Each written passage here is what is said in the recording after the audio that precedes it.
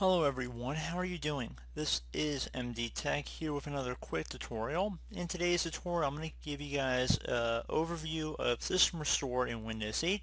Pretty much identical to Windows 7 and Windows 10 in many respects, but I wanted to make a video for you guys today who are running the Windows 8 or 8.1 operating system. So hopefully this should be pretty straightforward and without further ado let's jump into it. So we're going to start by left clicking on the start button or start menu and you want to type in system restore. One of the best results should come back with create a restore point. Left click on that one time. So now if you wanted to go ahead and create a restore point where it says create a restore point right now for the drivers that have system protection protection turned on, left click on create this will give you the ability to create a date here. So let's say we're going to just name it the date in which we're making this video. And then I'm going to left click on create. We'll take a moment to create that restore point. So just want to be patient on that. And then the second part of this video is once we've created it, I'm going to show you guys how to actually restore back your computer using the, the restore functionality. So system protection should get a little pop-up here saying the restore point was created successfully. Left click on close. So would suggest if you wanted to go back and restore your computer to an earlier time, underneath System Restore up in near the top, you can undo system changes by reverting your computer to a previous restore point. So the next thing you I would want to highlight is if you wanted to delete old restore points, you wanted to see what restore points you had on your computer, where it says configure restore settings, manage disk space, and delete restore points, left click on this configure button right above create. This will show you how much disk space has been allocated to restore points. So obviously you want to make sure you have system protection turned on. This is where system restore is coming from. So if it's not turned on, you don't have any restore points. And disk space usage, this is the amount that's currently allocated for system protection. So if you want to make it bigger, you're more than welcome to just scroll it up higher, or you can make it smaller. So pretty straightforward and you also have the ability to delete all restore points for the drive so going back any older restore points they would be deleted here. So I'm just going to click on apply okay?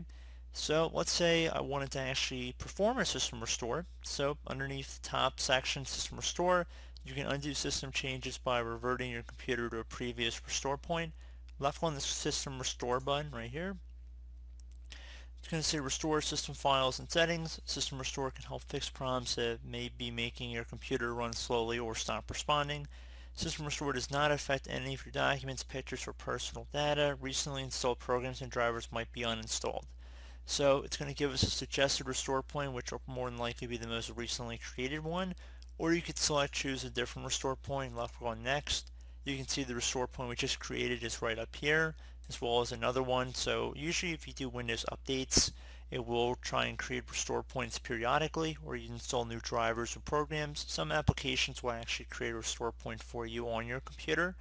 So for the purpose of this video, I'm going to restore back to the most recently created one, and that's usually advised. Hopefully, if you do create manual restore points, you give a decent description. So maybe instead of just putting the date here, you'd put install this, uninstall that, you know, something that would kind of give you an indication as to what was going on in this time period. And you get a little timestamp on the left side anyway, so I'm going to just select the most recently created one, and then to left click on next. It's going to give us a brief synopsis here, confirm your restore point. Your computer will be restored to the state it was in before the event in the description field below. Give you the date here, again, description, and what drive is going to be restored.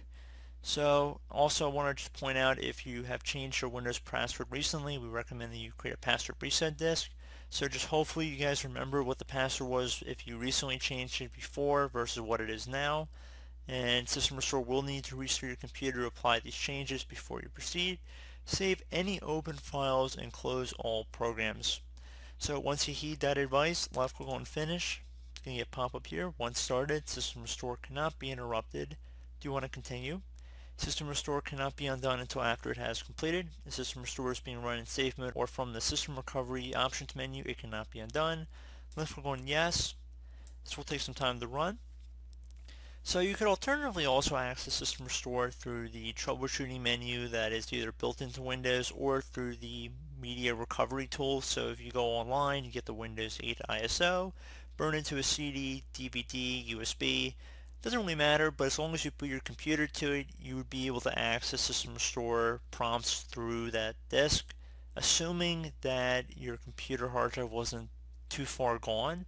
And in that sense, it should be alright and you would be able to locate your System Restore point through that. You could also run System Restore in safe mode as well. But I'm just showing you guys the most general overview of System Restore I can, just showing you how to create restore points, delete old ones, manage the disk space allocated to them, and ultimately how to perform a system restore. So we're going to let this run here for a minute, so just be patient, and I will be back with the narration once we are done the restore.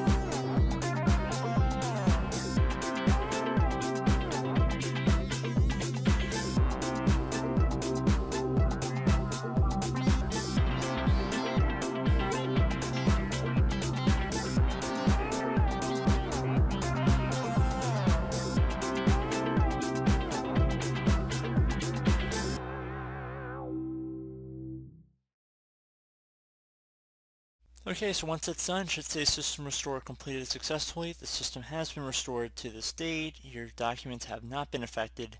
Left click on close, and that should hopefully be about it for this tutorial, guys. I Hope I was able to give you guys a decent walkthrough, and I look forward to catching you all in the next tutorial.